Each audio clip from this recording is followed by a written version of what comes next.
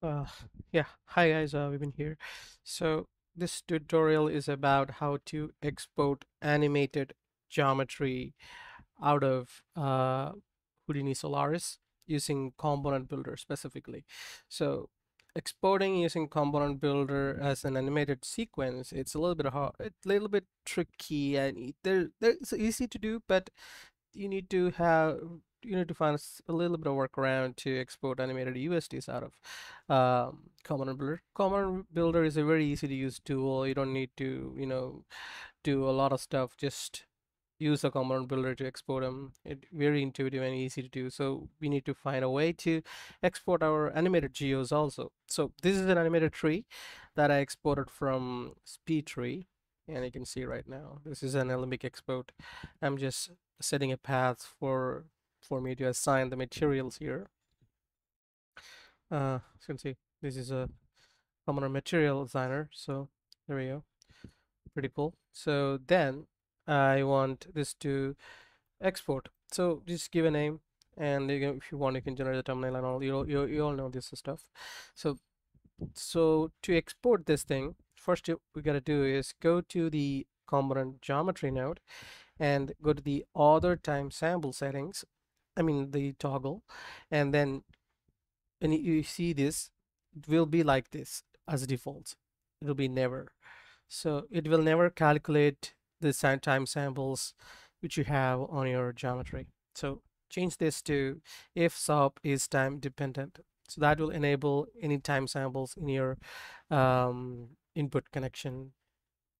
So then the second thing you, what, what you got to do is go to the component output tag and uh, right click over it and then you'll find allow editing. So enable allow editing. So when you enable allow editing it will unlock the lock. See? It'll show this kind of an icon. Go inside the node find these uh, this ROP node which is responsible for exporting the geometry as an USD file. So go to here then you'll find a val frame range and it will be set to, to render current frame. So that's why it's only rendering a one static mesh. Change that, that to specific frame range and then give your frame range whichever what or whatever you want. And again go back to the stage. And uh, yeah then is just save to disk. Save to disk. After you save to disk uh, I'll reference my geometry back here. Um, this tree USD. Let's take a look. Okay, so this is my geometry. As you can see now, it is animated. See? It is animated geometry. Pretty awesome. Let's stop it and go back to the first frame.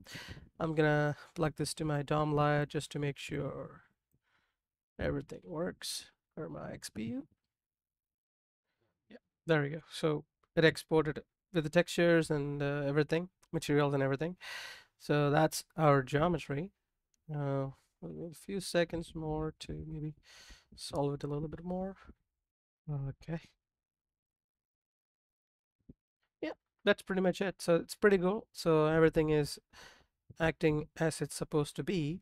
Let's go back to the GL.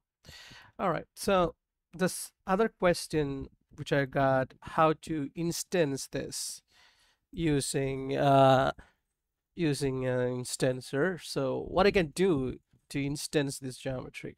So instancing not an issue. You can just instance using an instancer and directly. So the problem with this one is it is time dependent. So if you scatter this using a normal scatterer, it will scatter. It will scatter with the animation and everything the problem is it will be a uniform motion so whatever like the it, it, it all all the trees will start the animation from first frame to the uh, last frame. So that's not something we want. We want an offset so we have 100 frames.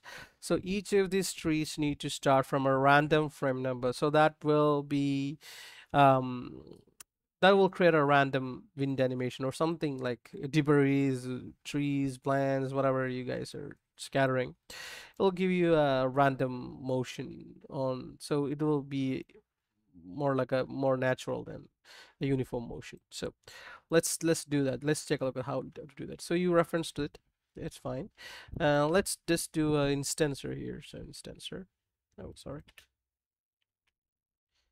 Uh, instancer. There you go. And I'm gonna create a simple grid over here. So grid, grid, and just double click on over here, and then we'll get this. I know. Uh, all right, guys. So we have our grid. Um, let's go back to the stage mode and uh, there we go something happened right that is fine let's go back to the uh, let's add an instancer node over here so instancer go back inside I'll insert a LOP import node here and grab our grid and select our geometry. And now we have to unpack it. Unpack USD to polygons. And we have this. Let's use a scatter node. I'm uh, doing a very simple method over here so it will work on anything.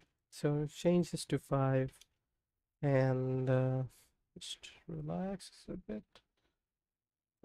Okay and then uh, let's go back. Connect over here. Wait a few seconds. Okay.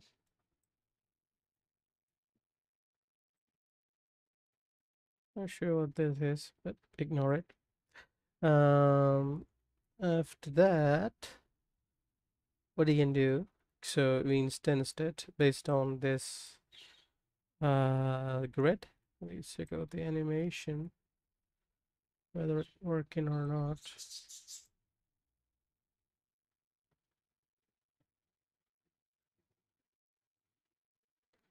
Yep, the animation is there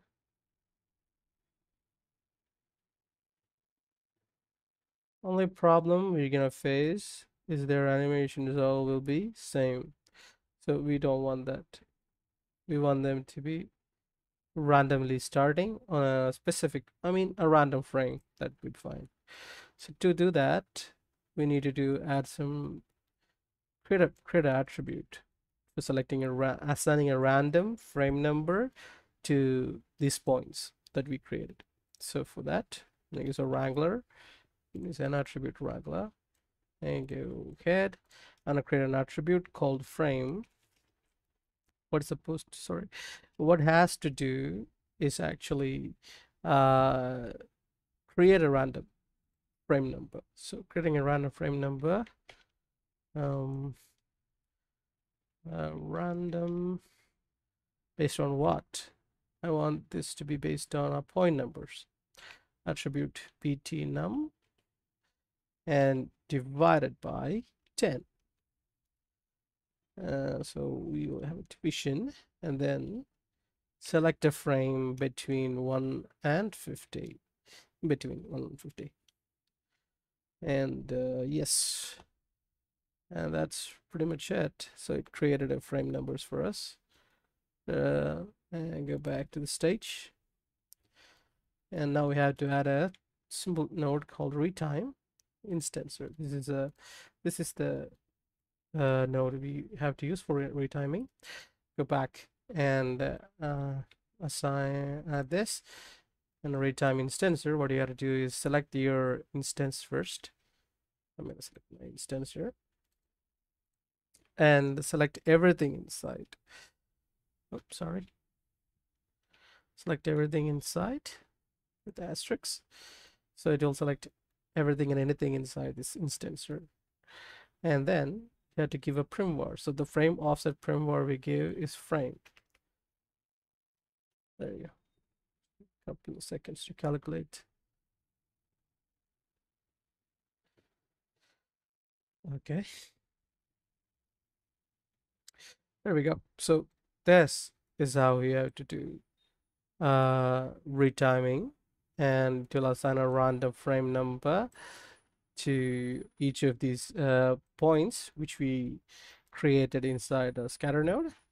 And it will start like if you go if you go inside the instance you can see the attribute wrangler one will start on 25 one will start on 1 one will start on 1 so this this can be like random random frames 40 30 21 if you have if you have a huge forest with thousands of points then this will be unnoticeable so go back to stage it says render this just TQ cache is like 200 300 frames then you'll get plenty of frames for um, you know offset and retime so this is how you do the uh, retime and scatter animated uh, objects inside Solaris for Houdini.